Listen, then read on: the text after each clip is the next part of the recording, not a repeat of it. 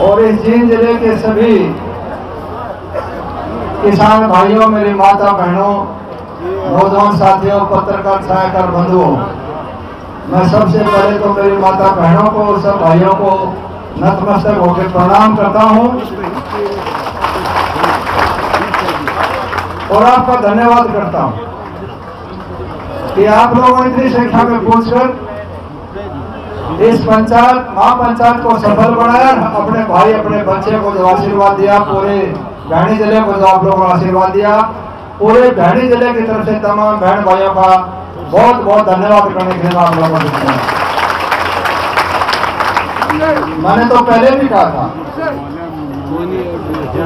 अगर हिंदुस्तान के अंदर कोई आंदोलन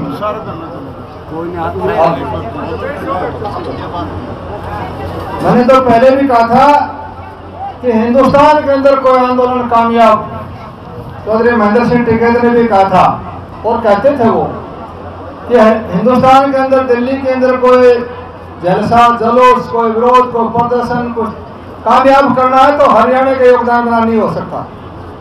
और मैं कोई संकोच में नहीं कहने के लिए कि हरियाणा नहीं पूरे हिंदुस्तान के आंदोलन में सबसे ज़्यादा सक्रिय, सबसे ज़्यादा कामयाब करने के जैन के भाइयों का आंदोलन बिना। सफल हो ही नहीं सकता। ये ताकत आप लोगों की ये ताकत है संगठन की। ये ताकत है ईमानदारी की। ये ताकत है इस जनता की जनार्दन की, इस धरती माता की। उन्नीस सौ नब्बे से मैं देखने लगा था। साढ़े पच्चीस साल की उम्र में। जैन के भाइयों का हर मामले में सबसे ज़्यादा योगदान रहा। लेकिन दो भाग्य रहा आप लोगों का हम सबका।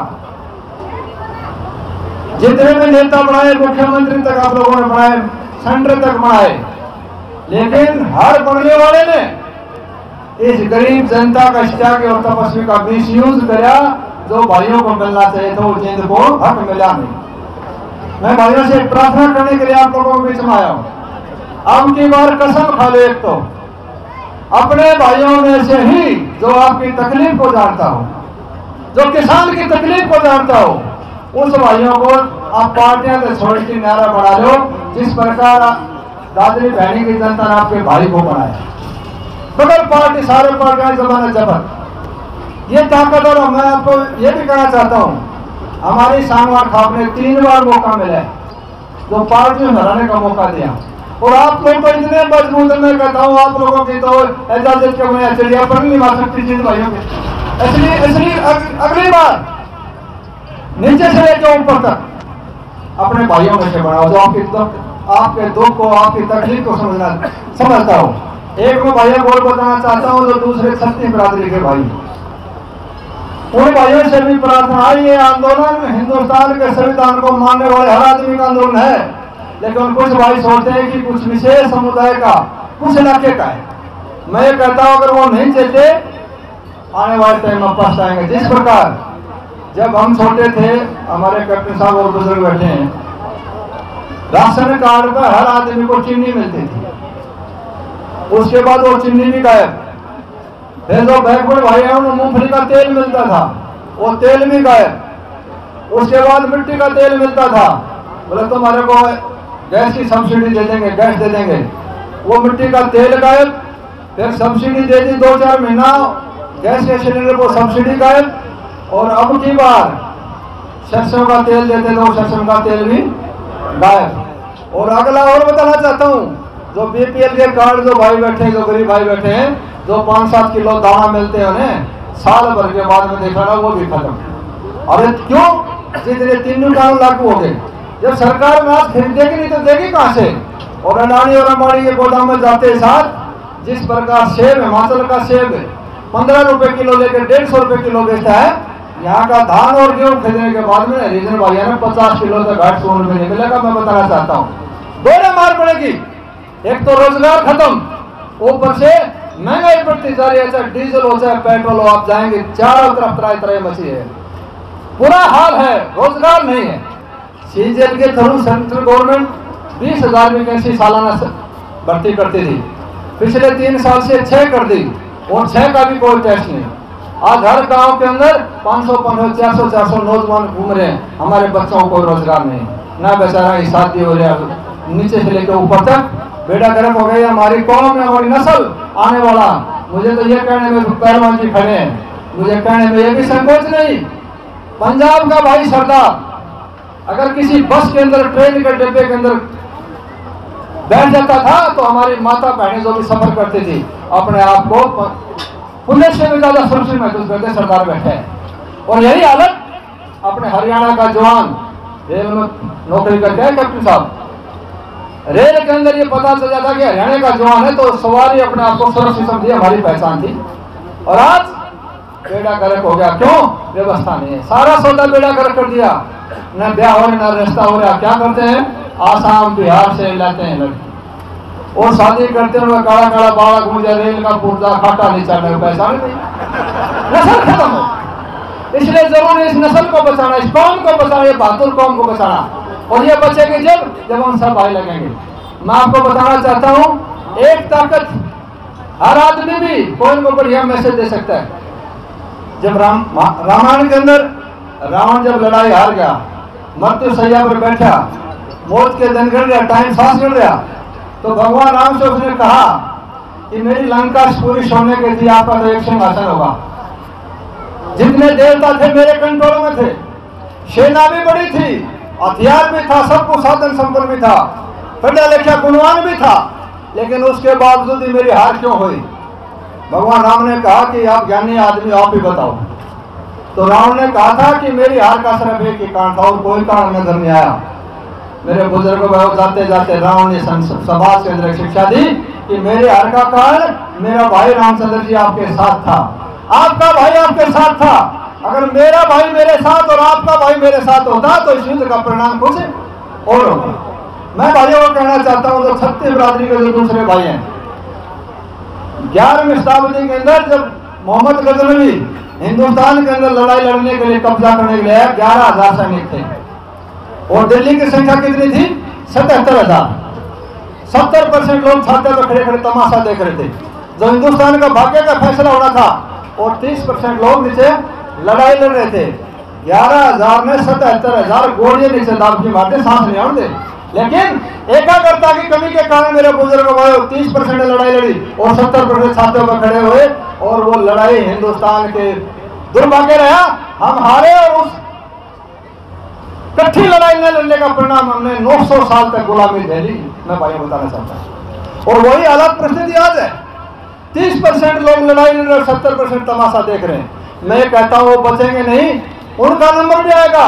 जिस प्रकार एक कसाई मुर्गे मुर्गे काटता है मीट का काम करता है, जिस मुर्गे को पिंजरे में से निकालता है, वही फड़फड़ाता है, आवाज़ करता है, क्योंकि मोर से सबको डर लगता है। और उनचास मुर्गे दाने चुगने में मशगूल रहते हैं। उनको ये पता नहीं, जो तुम दाने चुग रहे हो कल तो आगे नंबर आना है।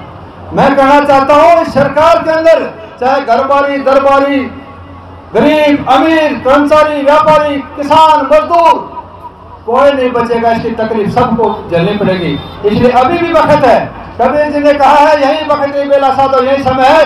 जागने का पानी से पहले पड़ बांधे जाए। अभी भी समय जो दूसरे भाई मेरी उनसे प्रार्थना है कि छत्तीस बरादरी के सब ये ताकत दिखा दें मोदी जी को।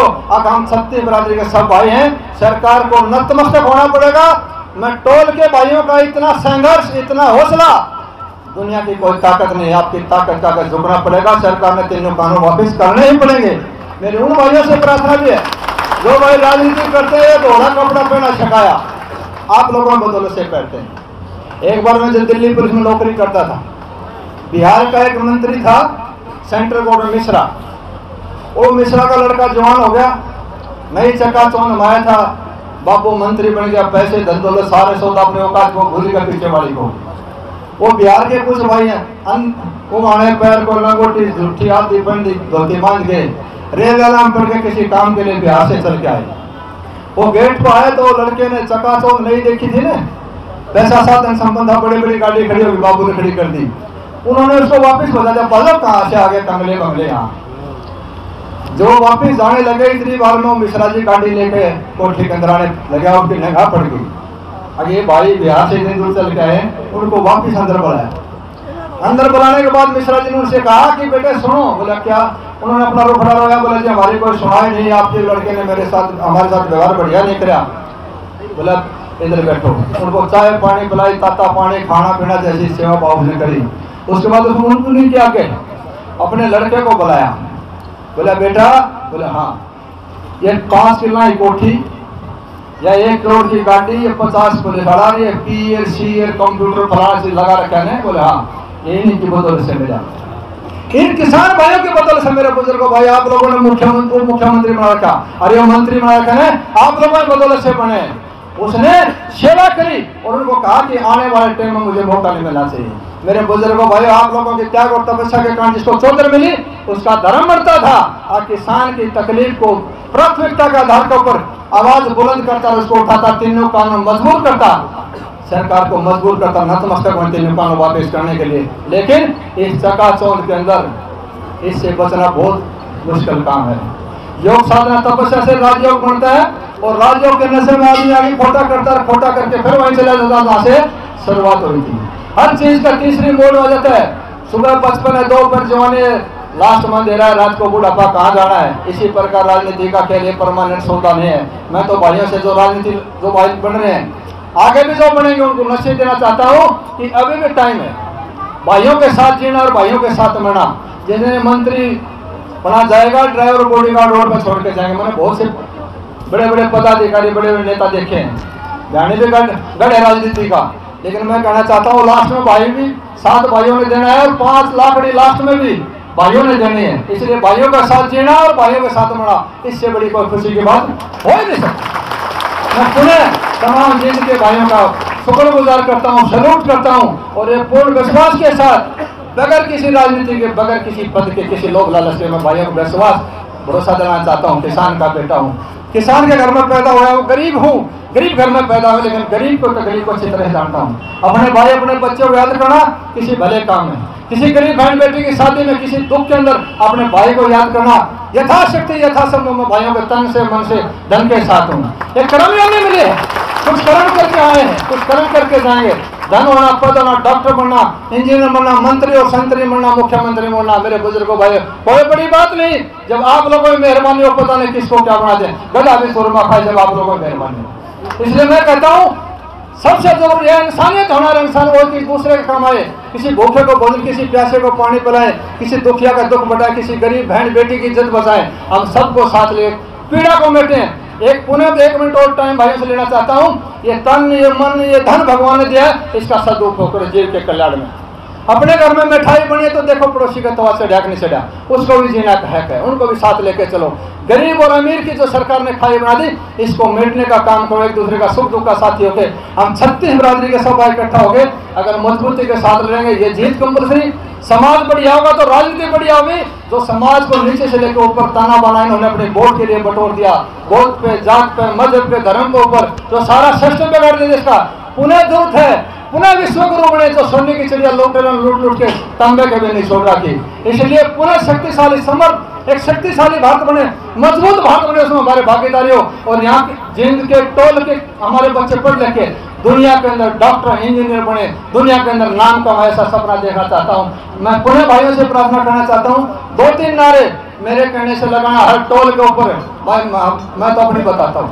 खाप का प्रधान होने के नाते हम वो टोक चोर चला भाई, माशा जमात आते रहते हैं। भाई, हमें तो बड़ी खुशी मिली, बहुत बड़ी ताकत मिली आप लोग चार गुना फालतू आप लोगों के आशीर्वाद से हमें ताकत मिल गई की तरह लड़ेंगे भाई को